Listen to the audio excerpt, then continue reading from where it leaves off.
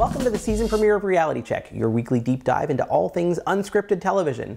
This week, we're totally focusing on America's Got Talent finale. Oh, I'm bored of this already. No, I'm just kidding. It's really The Voice. and I'm here with American Idol Season 6 standout Melinda Doolittle, who had a slight heart attack, as I said, America's Got Talent. Thanks for having me. I'm so excited that we're doing this again. This is The Voice. Doo, doo, doo, doo. We've got to discuss The Voice Season 5 premiere week. and I specialize in 16 year old girls. We saw 17 different singers advance through to the battle rounds in one week. That's a lot of talent. That's a ratio I can live with, especially when the five or six people who didn't go through were also talented. It is actually wonderful. It's one of the things that I really love about The Voice is that every time we're seeing great people sing, and I, I love that. Even though, like, I can already tell normally with how they set up the audition and everything, who's going through and who's not. You know, they'll show a few good ones, and then all of a sudden you're like, oh, bless your heart, we're going to hear your whole story, and off you go. The other strange thing I thought about this week was how many times they were like, the gang is back together, the chemistry is great, This original group does have some great chemistry. Excited to bring CeeLo and Christina back. I am. the chemistry is really great. We really like each other. The Fabulous Four. It's kind of like deja vu. Oh. It would be like if I came on the show and I was like, Melinda, I really like you. No, but actually, I, really, I do like you. I actually do like you. You know, I mean, these guys are like brothers, and I'm happy to be part of it. Mm, goodness gracious me, what a needy little fishy. and it's edited. Like, We're, we're not at the live rounds yet, so we'll see. You know, I mean, no, nobody on The Voice is that good of an actor. So if they're not getting along, it's gonna, it's gonna, you know, be oh, percolating, as Mary J. Blige would put it. But let's talk You about who your favorites were this week. Oh, Donna. Donna, Donna, and Donna. Go girl. She was my favorite, first of all, because she sang the living daylights out of You Are So Beautiful.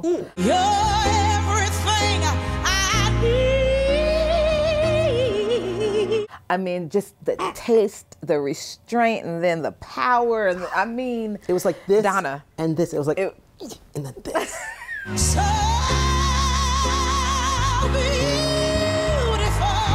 but she became my favorite when she wrapped her legs around Adam Levine. Who among us has not thought about that moment? Donna was in my top three this week. Interestingly, and I don't even know why, but Johnny Gray was probably my favorite. There is something about the tone of his voice and the feeling that he brought to that Killers song.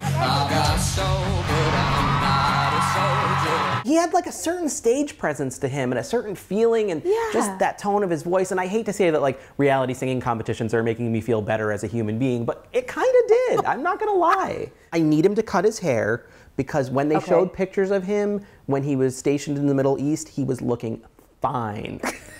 With a capital F I N and E. And now he's just sort of fine lowercase. you know what? Okay, I'll be honest. I didn't. I mean, I his voice is great. I didn't pay enough attention to decide on what his hair should be, but his voice was great. He just didn't end up being my very, very favorite. Not that he wasn't great, and I'm, I'm sure CeeLo's going to do wonderful things with him. That sounded wrong, so I'll just, we'll just move on, right? There's a lot of things wrong, with- like when Blake says, like, I specialize in 16 year old girls. And I'm like, don't say that. Don't Never. Don't say that. And I specialize in 16 year old girls. So, Melinda, who else did you like this week? I know you, you liked someone more based on personality almost than vocal. Okay, listen.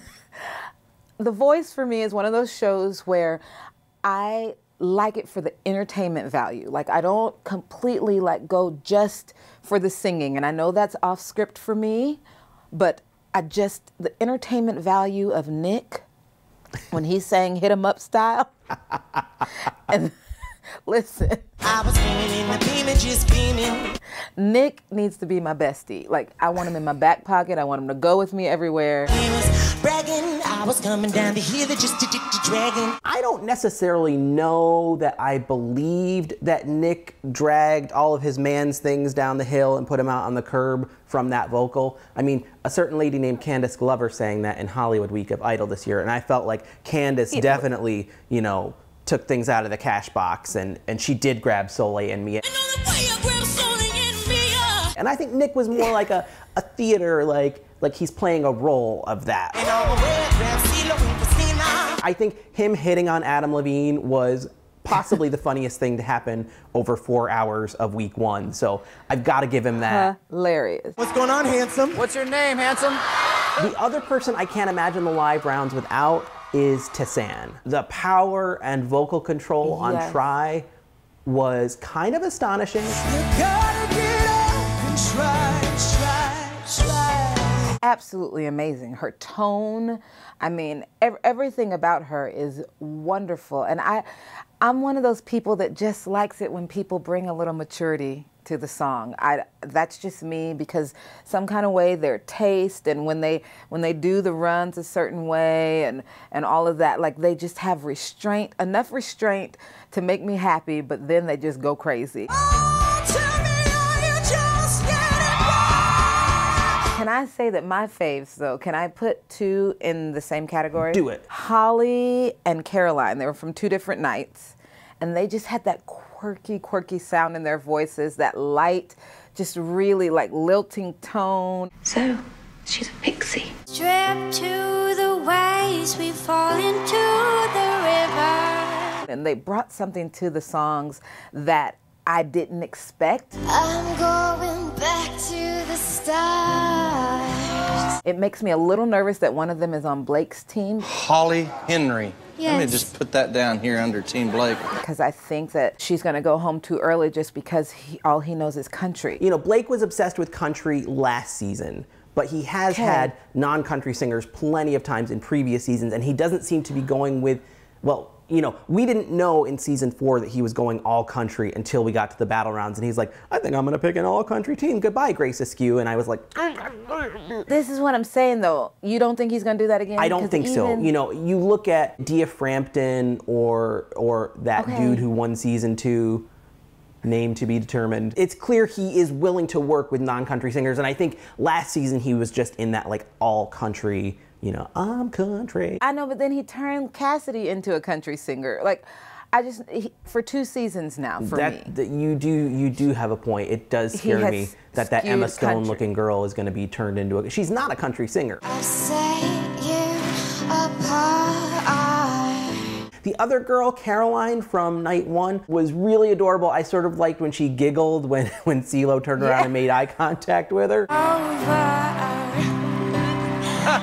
But I don't think that she's got the power that Holly does. And I think that's always troubling when you hmm. get to the live rounds and Banzilla comes roaring out of the back. I think if she gets control of her nerves, she can do it. I want you to start believing in yourself. And I actually disagree with the placement of both of them on your list on TV Line. So let's just be clear on that. I feel like you placed them both way too low. Let's just hope Holly is around long enough for us to see if she's as good as we think she might shame. be. You know. Whatever. I've just got to ask you, were you a little bit sort of uh, when the scripted elements came into this week's episodes of The Voice? You sing like a soldier, though. Oh, believe me, no one would suspect your manners to be rehearsed. It was the dumbest segue. I actually was. Uh, I was in the Air Force for four years. Just ask like, what do you do for a living, or what's your background? Don't be like, you sing like a soldier. That was just, it was just so stupid. That moment, and then when Christina pretty much just went straight into like burlesque acting mode and was like, Do I know you from somewhere? You look familiar. Do you do you act at all? Where do you think you are? In some Regency costume drama?